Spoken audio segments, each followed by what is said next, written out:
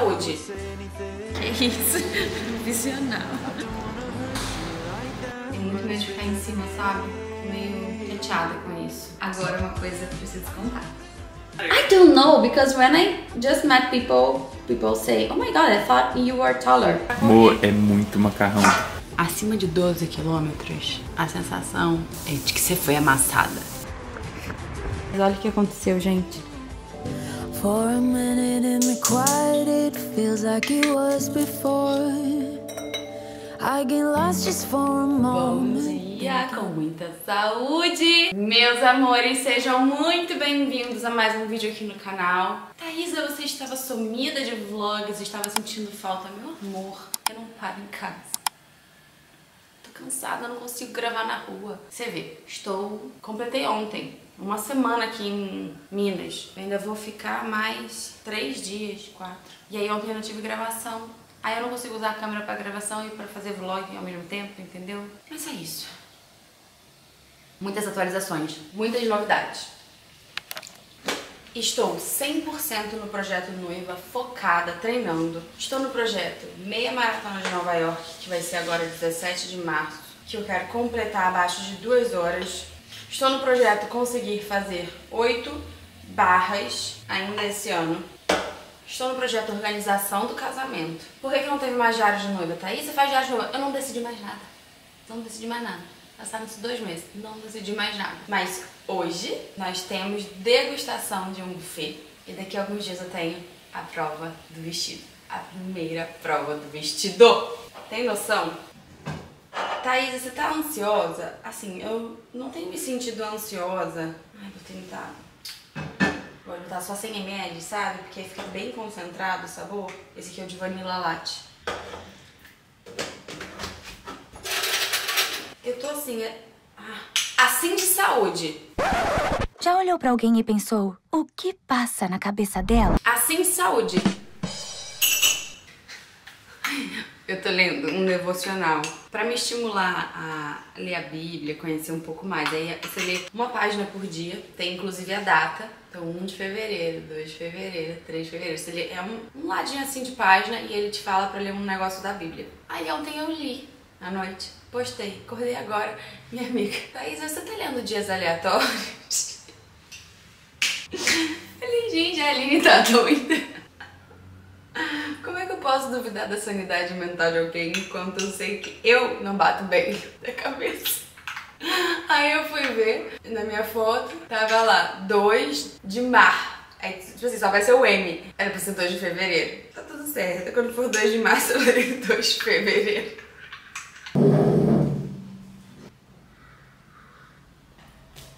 Vendo? Se passaram alguns meses e eu sigo fazendo as mesmas coisas na mesma sequência e a bateria tá acabando. Eu tô lendo um livro e alguns livros me instigam a anotar, fazer resumo dele, porque eu sinto que tem muito aprendizado e eu não quero perdê-lo, sabe? Na verdade, essa é uma estratégia pra gente fixar tudo aquilo que a gente lê. Não tô batendo bem, não tá oxigenando. Depois de ler um ou alguns capítulos, eu abro um arquivo no Word com o nome do livro e vou escrevendo. É um pouco copia e cola, mas eu também vou colocando as minhas observações, vou trazendo com as minhas palavras. Eu mudo a ordem de muita coisa. Tanto que não é separado por capítulo, mas por tema. Esse livro aqui, por exemplo, cara, ele fala um negócio aqui na primeira página, descreve um tema, sei lá, triunfo. Tá? Ele fala o que é triunfo e um monte de coisa relacionada a triunfo aqui no início. Daqui a pouco, no final, ele tá falando de novo uma coisa que é complemento aqui. Eu não dou conta de deixar uma coisa num lugar e outra no outro. Eu gosto de ter o conhecimento organizado e todo junto, sintetizado. Então eu vou organizando da forma que eu acho melhor. E qual é o meu objetivo com isso? É não ter apenas lido o livro. É eu, no meio de uma conversa, conseguir resgatar algum ensinamento, alguma frase, realmente ter aprendido e absorvido aquilo. Eu acho que essa é a inteligência mais incrível que tem. Não é sobre você ler um monte de livros. Esse aqui eu tô demorando um tempão nele, ainda não tô nem na metade. É sobre você aprender aquilo de fato, lembrar no meio de uma conversa. Então, se eu pudesse dar um conselho, toda vez que você lê algo muito interessante, conta para alguém, explica para alguém, Faz um post sobre. Meu amor, muda tudo. Por isso que várias vezes eu tô lendo e eu faço uma sequência de stories, faço um post, porque eu achei interessante, quero compartilhar, mas isso é uma forma de aprender também. And I didn't wanna feel this way. Of being out of place. Give me a one-way ticket out of here someplace. I know I can't be happy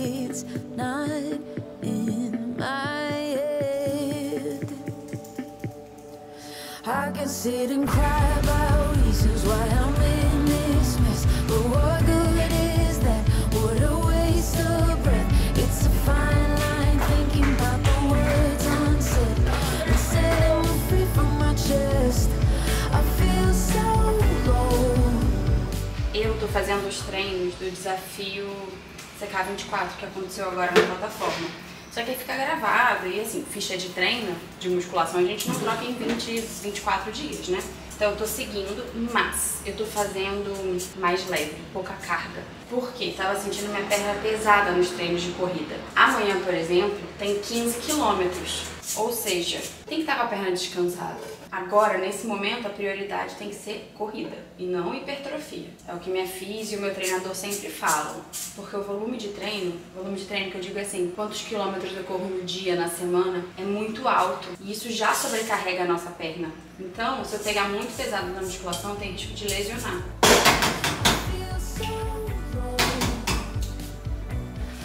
Ai, mas eu estou tão animada para fazer a degustação hoje, para ver o meu vestido daqui a alguns dias. Será que o vestido ele já vai estar tipo pronto? Só faltando assim ajustes? Tô nervosa.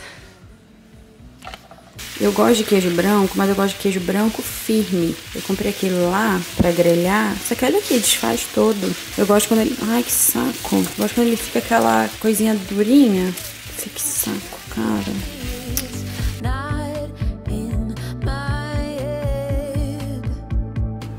Consegui me atrasar com calma. A gente vai fazer a degustação agora, meio-dia. E são 11h46. Mas é porque tá muito corrida a vida e eu não podia deixar de fazer essa degustação agora. Porque agora a gente tá em fevereiro, né? Hoje é dia 1 de fevereiro, ou 2. E eu só devo voltar aqui em Minas, branca, né? Prometo que é a luz que tá estourada. Em abril. Porque agora, em fevereiro, vai ter carnaval, vou passar em São Paulo fazendo o quê? Nada, descansando.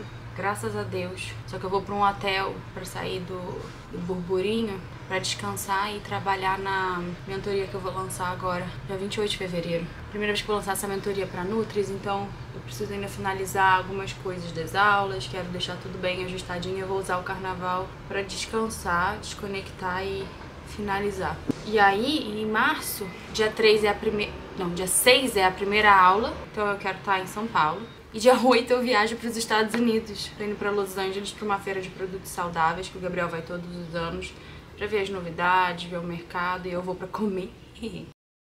E depois a gente vai pra Nova York, aproveitar lá e correr a meia maratona. Então a meia maratona que eu vou fazer é de Nova York, gente. Meu objetivo é fazer abaixo de duas horas. Ai, tô treinando. Me acompanha no Insta pra vocês verem essa, essa evolução. Arroba Leal. Tô postando todo domingo um vídeo da minha evolução. Aí, quando eu chegar lá pro dia... Outra coisa, um blush, hein? Pô, quando eu chegar dos Estados Unidos lá pro dia 22, 20, sei lá. Eu vou ficar em São Paulo porque eu vou no Lollapalooza. A Bold vai ter um stand lá. Gigante. Gente, você tem noção que sonho? Um stand, sei lá, acho que é entre a Coca-Cola e a... o McDonald's. É o sonho do Gabriel tá aqui, ó, entre duas marcas grandes. Muito bacana. Vai ser muito legal. E é aniversário do meu sogro, a gente vai passar o aniversário no Lollapalooza. Então, só lá para abril que eu volto em Minas e a gente tem que fazer essa degustação agora. E aí, o que que aconteceu? Gabriel quer ver um monte de coisa, só que ele não tem tempo pra ver um monte de coisa. Ele não tem tempo de fazer 50 degustações de buffet. Ele não tem tempo de fazer uma, que dirá fazer duas. Aí ele cismou que queria fazer uma de BH. E eu, contra a minha vontade, falei, ok, vamos marcar. Ia ser hoje, ontem, sei lá. Aí chegou perto e ah, esqueci que eu tinha uma reunião importante. Ah, esqueci que eu, eu tô agora no momento, sei lá o quê. Aí eu falei, Eu avisei que eu queria fechar com o de Divinópolis sem a gente ver outro, porque eu também não tenho tempo para ficar vendo um monte de opção. Aí falou, então tá, então vamos ver a degustação do de Divinópolis, que a gente não precisa viajar, porque daqui pra BH dá uma hora e meia, duas horas. Se a gente não gostar por algum motivo, aí a gente segue com uma próxima opção. Eu falei, então tá bom, muito obrigada. Aí eu, eu falo, eu sempre tenho que estar tá falando, eu avisei, eu avisei. Porque eu sei que ele não tá com tempo de ver as coisas, nem eu tô com tempo, gente. E a gente tem que trabalhar pra pagar esse casamento que não tá barato. Aí vai ficar vendo um monte de opção. A daqui a gente já conhece, ele fez aniversário com esse buffet, entendeu? Ele fez aniversário com esse buffet. E quando ele fez, eu amei. E eu falei, eu não tinha pedido em casamento, tá? E eu falei pra ele, nossa, muito bom no nível assim, do, ou melhor de vários casamentos que a gente foi. Quando ele me pediu em casamento, eu falei, eu quero o buffet aquele lá. Não vou falar o nome ainda porque eu não sei, depois eu indico pra vocês. Eu amei. E detalhe, quando a gente recebeu a proposta desse, que é aqui de Div, o melhor assim daqui, e a gente recebeu um que é o melhor de Minas, assim, e é o mais chiquérrimo, só de você ler o cardápio, o que é chiquérrimo, não, não parece uma comida gostosa com substância. Agora, quando daqui você ia lendo o cardápio, eu falei assim, vou ter que escolher entre esses salgados ou dá pra ter todos? Assim, que nossa, com substância, coisa gostosa. Agora, eu vou levar a câmera pra gravar, mas eu tenho muita vergonha de ficar gravando na rua. Batom da NARS, nome Tuled. Esse aqui não é o que eu gosto, mas o que eu gosto quando eu fui comprar não tinha, eu comprei o que era parecido. Tô pronta, cara, tô pronta.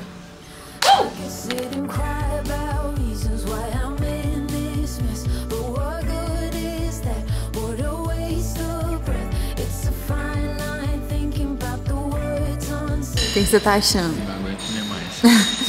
10 minutos que eu tô aqui. Parecendo uma galinhazinha.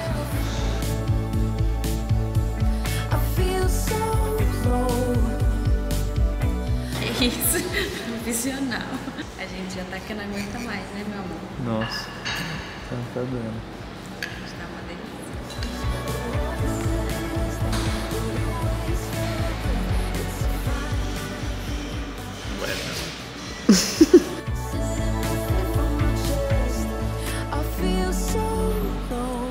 Tá comilão, hein? Você comeu. Cheguei, tomei um banho, tava com um pouco de cheiro de fritura. Eu gostei do buffet, achei que foi uma comida simples, não vai sair ninguém reclamando da comida. Não sei se teve alguma coisa super diferente.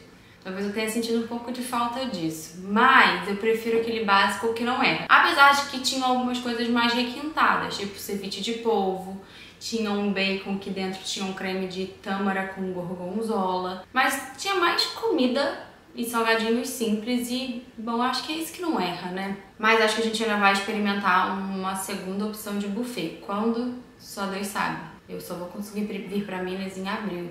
Tenho muito medo de ficar em cima, sabe? Tô meio chateada com isso. Mas a base do buffet vai ser a seguinte. O casamento é às 11 da manhã, na igreja. Já expliquei por que no outro vídeo. E acaba meio-dia. As pessoas já vão chegar na festa, que é muito perto, dá pra ir andando. E vai ter uma mesa de antepastos. Eu não experimentei nada disso hoje, porque não tem degustação da mesa de antepastos. E essa mesa de antepastos vai ficar a festa inteira. Então tem queijos diversos, salada, tem até assim rosbife, carnes, diferentes frios assim, tem muita proteína ali também. Será que tem pão de queijo? Acho que tem. Torradinhas, pastinhas, etc. Aí vai ter rodando, né, na bandeja, salgados frios, quentes que pode ser folhado ou frito. Além dos salgados, vai ter também finger food, que é mais assim, uma coisa que não é salgada, é cara de comida, numa panelinha pequenininha, sabe? Então, por exemplo, esse polvo é considerado um finger food, esse ceviche de polvo. Se tivesse um risotinho, escondidinho de carne seca, tudo isso é mais considerado finger food e vai rodar também. Aí vai dar, sei lá, umas duas horas ali de festa, as pessoas já vão ter comido bem isso, vai ter tido tempo de eu e Gabriel a gente entrar, porque o noivo sempre some, né? Vai tirar foto e depois aparece. Aí vai servir o almoço, só que a gente vai querer o almoço numa mesa mesmo para as pessoas se servirem. Por quê? A gente até já foi em casamento onde era servido empratado já. Vem da cozinha o prato. Só que assim, às vezes a pessoa vai querer combinar uma coisa com a outra, vai querer menos, vai querer mais. A comida às vezes pode ficar rolando muito e ficar fria. Então, cada um consegue ter mais liberdade quando quer comer, quanto, e a comida fica mais fresquinha. Então vai ter ali uma opção de carne, uma opção de peixe Eu não sei se eu gostei daquele salmão que eu experimentei hoje, a gente ainda vai experimentar outro, vai ver outra opção. Vai ter arroz, vai ter salada e uma massa também. Vai ter recheada de queijo. E os docinhos, bem casado. Não vai ficar sendo comida fit no casamento, gente. Já falei isso. Vocês esperavam isso de mim, mas sinto decepcionar. Agora uma coisa eu preciso contar. Vai ter um sabor novo de Bold e que vai ser lançado exclusivamente no casamento. É, Gabriel falou que tava pensando em fazer esse sabor aí, aí deve ser uma barrinha que a gente vai ter de brinde, alguma coisa assim no final do casamento. E que o rótulo vai ser um rótulo personalizado do casamento. Não para vender, o rótulo personalizado vai ser só pro casamento. Imagina, Gabriel, não, isso que é prova de amor, ele lançar uma barrinha para vender nos supermercados no site do nosso casamento. Olha, imagina. Não, mas a, a embalagem especial vai ser do casamento. Eu quero botar alguma coisa assim de bold e cupido, porque a gente, né, tá aqui casando por causa da bold. Quem diria? Gente, essa história é bonita, né? Eu sempre fiquei pensando assim, eu tenho que casar com alguém que a história é bacana de você contar pros netos, pras pessoas, pra um vídeo no YouTube. Por quê? Tem uma emoção, tem uma coisa diferente, né? Consegui essa história. Mas é isso. Aí acho que a gente ainda vai experimentar um outro buffet. Mas eu adorei esse. Por mim a gente já fechava. Vamos ver. Tá difícil, gente, tá difícil conciliar tudo. Você vê, eu passei a semana inteira aqui, eu ia ver os convites, não consegui ir, tô trabalhando demais. A sogra até foi lá pra mim, mas me mandou um monte de vídeo, mas aí agora eu tenho que ir pra finalizar. Vai dar certo, né? Vai dar certo. É que eu, é que assim, eu vou casar, trabalho já que nem uma doida, vou lançar uma mentoria nova, aí tem toda hora desafio novo na plataforma, quero correr uma meia maratona em Nova York, quero fazer oito barras, aí realmente não tem condição, Mataísa. Não tem terapia que aguente. É verdade.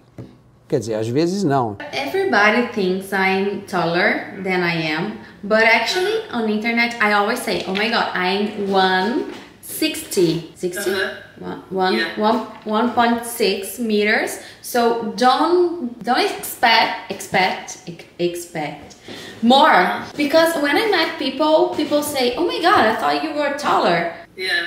and they say this in the first sentence with me. Do do can can you Do you wear? Do you like to wear heels? reels? Yes, I do, but Heels. ah heels. Okay, I use, but not always. Sometimes, but I don't. because for I don't. if like you're walking around and you're in heels doing your video, No, I don't use. maybe At all. them at your house or something. No, you know, and like I and I don't have photos like that. Um, how can I say this? Apparently, I am taller. No, I don't. I don't. Mostly photos are I see. not with Yeah. my body. Do you know? I don't have all Yeah. my body. I, I I'm just talking something. Mm-hmm. So I don't know why people thinks I'm taller. And I always say on my Instagram, I'm not taller. I have like 1.6. So don't be. Let me see the. Don't be disappointed.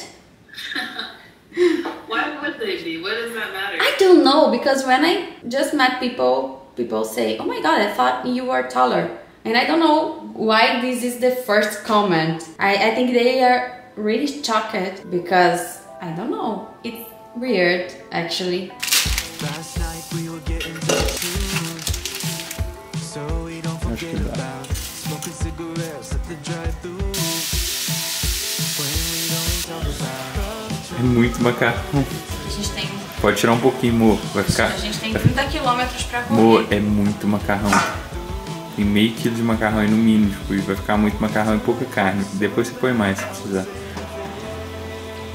Acho que esse é um prato masculino. Você quer assim um prato masculino, Gabriel?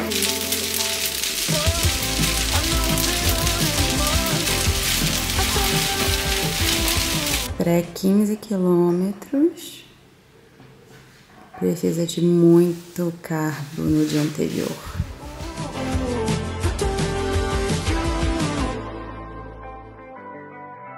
O Gabriel está comendo pão com bananada, com bananinha. O que você tem a dizer sobre isso? Coisa louca. Aqui é o jeito certo. Biscoito de arroz com bananinha. Gabriel, que loucura. Isso aí, isso aqui que é falta de organização. Quem não sabe como correr.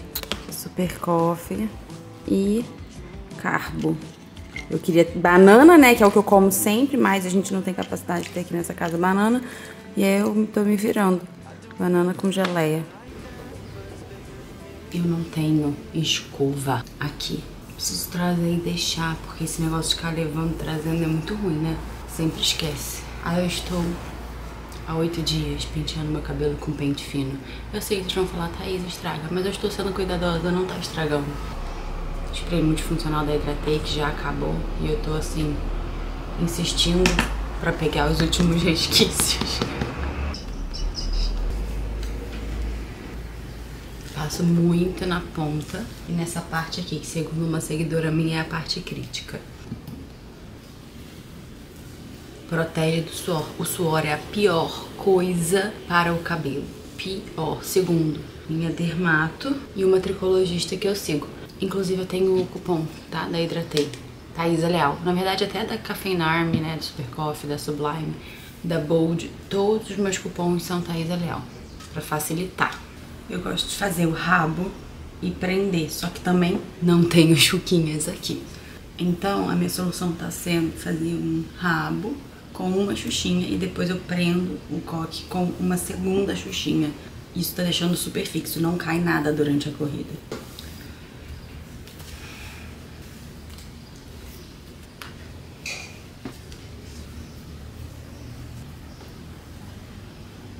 Uhum, fica preso.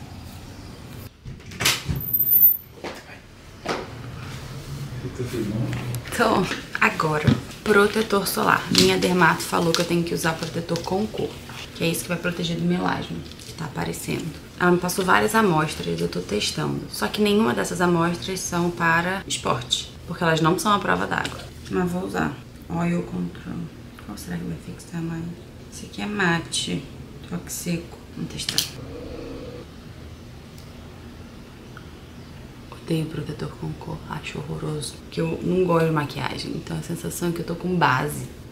Eu não gosto, eu gosto, tipo assim, de aparecer minha profundidade do olho. É, doida? Sim, eu gosto de aparecer minha profundidade do olho, que eu tenho olheira, que eu tenho diferentes tons na pele.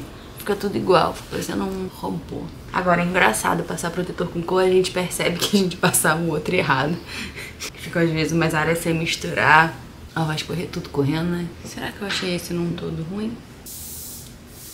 Nossa, eu não gosto, gente. Ai, eu não queria correr 15 quilômetros, não. Muita coisa. Acima de 12 quilômetros, a sensação é de que você foi amassada. Orelha, né? Agora, corpo. Esse aqui eu ganhei do... Ganhei. Roubei. Do Gabriel.